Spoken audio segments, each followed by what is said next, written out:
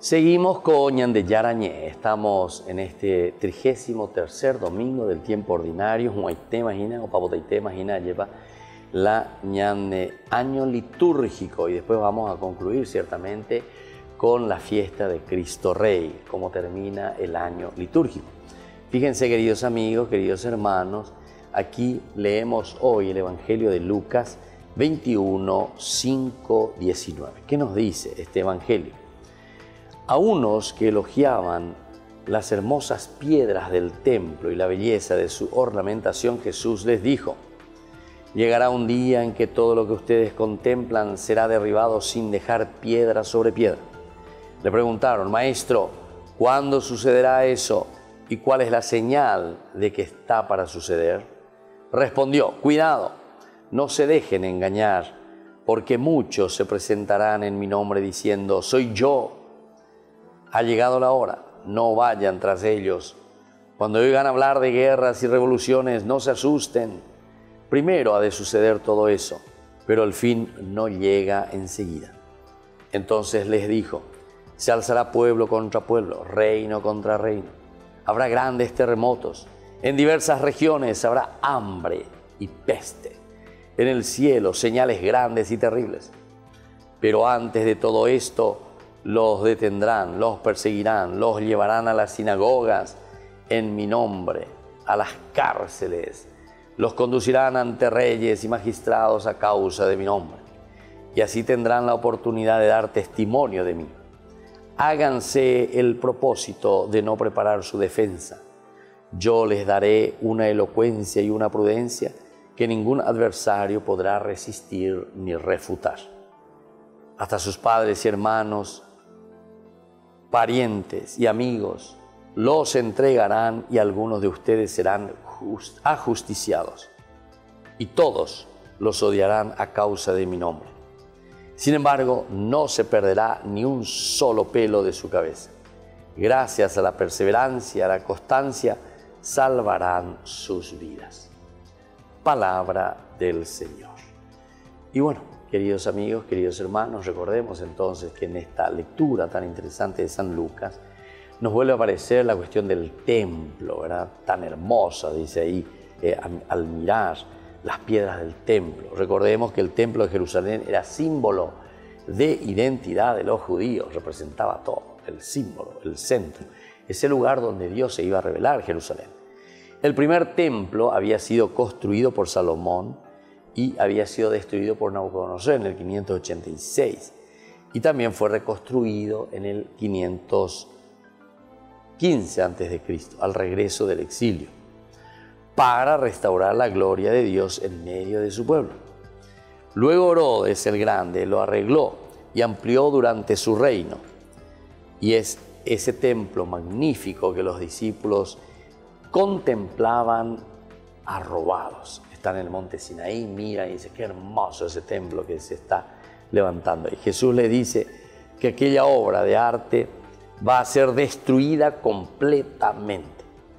Al ser preguntado sobre el cuándo, Jesús solo indica una serie de acontecimientos más bien apocalípticos, guerras, revueltas, hambre, peste, desastres naturales. Entonces sobre eso se está hablando, ¿verdad? Ahora, nosotros también hoy en día estamos asistiendo ¿verdad? a estos acontecimientos debido al cambio climático, por ejemplo, ¿verdad? o sea, casi como un cambio de la misma naturaleza. Cada vez tenemos más inundaciones, sequía en muchas partes, ¿verdad? Y las naciones poderosas se sienten con el derecho de provocar guerras fratricidas en varias partes de la tierra. En fin, hay muchos elementos que aquí uno puede ir mirando, ¿verdad? Cómo el Señor presenta nuestra situación, ya final de este mundo, ya final de este mundo. Lo que quiere hacer el Señor es apuntarnos hacia un compromiso serio. Es decir, el compromiso serio será el buscar soluciones concretas para nuestra vida eclesial, para nuestra vida de parroquia, para nuestra vida de capilla. El texto del Evangelio contiene una advertencia. Seguir a Jesús, el verdadero Mesías, es una opción muy peligrosa, pues es ir a contramano de la sociedad actual. servir a Jesús y al mismo tiempo estar al servicio de los valores de esta sociedad. Consumista y excluyente, consumista y excluyente. El seguimiento de Jesús es un camino que nos puede llevar a la persecución e incluso al martirio. Aquí se nos pone entonces y se nos aclara muy bien que todo esto, el seguir a Jesús, el adherirse a Jesús, nos puede llevar a los errores incondicionales. Condicionales quiere decir el mismo ser, ¿verdad? Eso incondicional, lo mismo que se presenta como esa fuerza, esa piedra que nosotros no podemos absolutamente dejar de lado. Creemos en eso. Van a poner en contra de nosotros, todos se van a poner en contra de nosotros porque nosotros nos afirmamos en esa altura, en ese cerro, en esa montaña, es la gracia del Señor van a poner en contra de nosotros. las pequeñas comunidades que buscan cambiar la situación hacia una sociedad más justa y más humana, sufren persecuciones hasta sus propios familiares y amigos. Este es el otro elemento. Que en la medida en que estos cristianos van cambiando, van creciendo, se van comprometiendo más con Jesús, ciertamente que después también vienen las persecuciones. Sufren persecución hasta sus propios familiares. Ante esta situación Jesús nos dice que no tenemos miedo, pues no estamos con el mismo. ¿Por qué? Y porque según las palabras del profeta Malaquías, a los que respetan su nombre los alumbrará el sol de justicia. Al que respeta el nombre de Dios, es decir, se pone en sintonía con el Señor, por lo tanto a ellos les alumbrará el sol de la justicia. Es una exhortación a la perseverancia y a la confianza. Perseverancia y confianza. Perseverancia y confianza. Y puesta, ¿verdad? Ahí entonces para ser perseverante.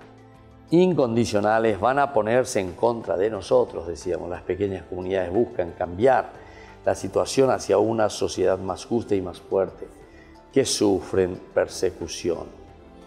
Ante esta situación, queridos amigos, queridos hermanos, Jesús nos dice que no tengamos miedo, pues no estamos solos, Él mismo es nuestro Señor y defensor. Y según las palabras del profeta Malaquías, a los que respetan su nombre los alumbrará el sol de la justicia. Y bueno, así entonces, queridos amigos, estamos terminando esta segunda, mejor dicho, la tercera lectura, que es el Evangelio que el Señor nos ofrece y nos invita también a nosotros ponerla en práctica, a vivirlo en profundidad. Volvemos enseguida con más Gnande Giaragni e Dominica.